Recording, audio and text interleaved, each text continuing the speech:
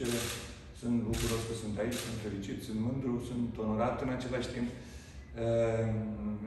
Simt o responsabilitate imensă pe care îmi pregătit să o mi-o asum tot timpul. Este o provocare și pentru mine.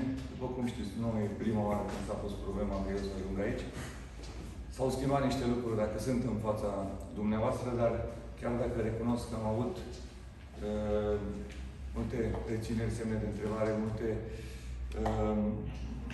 multe idei care mi-au mers în, în, în minte și am încercat să întorc acest scenariu pe toate fețele posibile și imposibile. În momentul când am spus da, am venit și am ieșit în curtea complexului cu toată convingerea, cu toată energia, cu toată personalitatea uh, necesară pentru a reuși să facem lucrurile bune aici, să producem performanță, să construim o echipă solidă de care suporteri, în primul rând, patronul, conducerea, toată lumea să fie mândră. Pentru asta trebuie timp, trebuie muncă multă, trebuie răbdare, dar suntem pregătiți să, să facem aceste lucruri.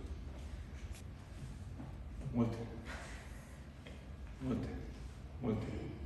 Uh, am promis că sunt sincer, sunt deschis total. Planul meu, după ce am plecat de la, de la CFR, a fost să merg în străinătate. A fost discuții în sensul ăsta. A fost și o oportunitate foarte bună pe care am scăpat-o pentru că am dat un răspuns prea târziu. Echipa europeană angrenată în cupe europene.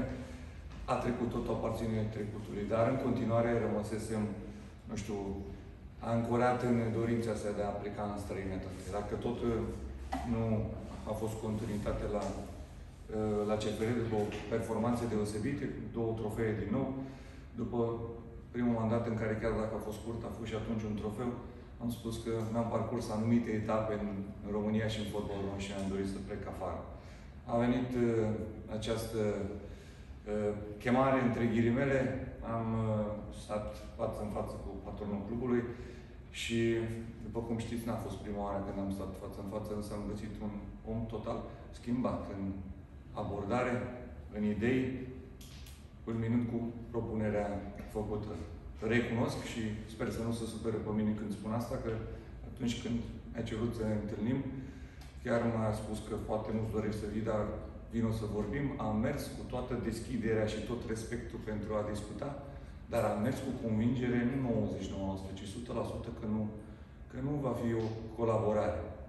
Ă, așa cum a fost și în trecut. Ba mai mult decât atât, vă spun că am fost chiar pregătit în așa fel încât să uh, am solicitările de așa natură încât și dacă își dorește probabil mai mult decât și-a dorit în trecut să mă aducă să nu poate să mi le accepte, să mi le refuze. Dar am descoperit un om total schimbat din tot ceea ce mi-a spus în uh, ce înseamnă latura pe care pe mine mă interesează, latura profesională și rolul meu la echipă, Uh, ba mai mult decât atât, uh, dacă în trecut am discutat și am negociat la fel ca și acum pe anumite condiții și clauze de data asta, mi-a spus să construiesc contractul așa cum doresc, cu toate clauzele necesare și uh, îmi va accepta în totalitate. Este ceea ce am făcut.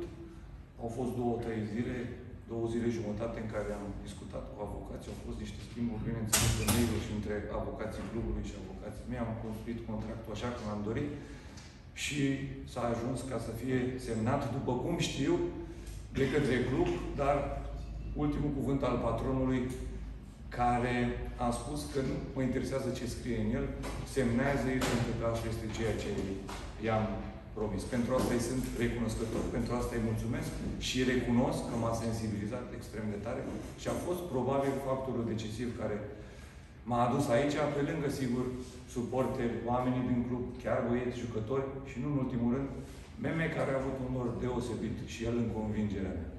Foarte mult în detalii să comentez despre ce s-a întâmplat nu are rost pentru că pierdem timp și știm cu toții și știți și dumneavoastră și le-ați semnalat, le-ați comentat, le-ați analizat. Uh, eu am uh, trei aturi. Unul în care cred foarte tare este cuvântul dânsului. Pentru că sub cuvânt de onoare mi-a promis anumite lucruri. Doi, este contractul meu, care probabil și nu este o chestie de... Nu vreau să scot în evidență ca o laudă, ci efectiv că este un contract atipic pentru probabil fotbalul românesc și nu numai. Și contractul meu înseamnă pentru mine o anumită protecție clară. Și, în al treilea și ultimul rând, persoana mea, felul meu de a fi, comunicarea mea, stilul meu, modul meu de lucru și tot ceea ce fac eu. Pe aceste lucruri mă bazez, am încredere deosebită în grupul de jucători, a contat foarte mult, dacă atunci când am plecat de la CFR am mulțumit foarte tare grupului de acolo cu care am făcut performanțe și au fost primele performanțe din cariera mea, cele mai frumoase momente până în acest punct. Uh, așa și aici pentru mine a contat foarte mult grupul de jucători și am găsit un grup care cunoșteam în proporție foarte mare, cu mulți am lucrat, un grup foarte tânăr de jucători cu foarte mult potențial și sunt sigur că și dorință pentru performanțe.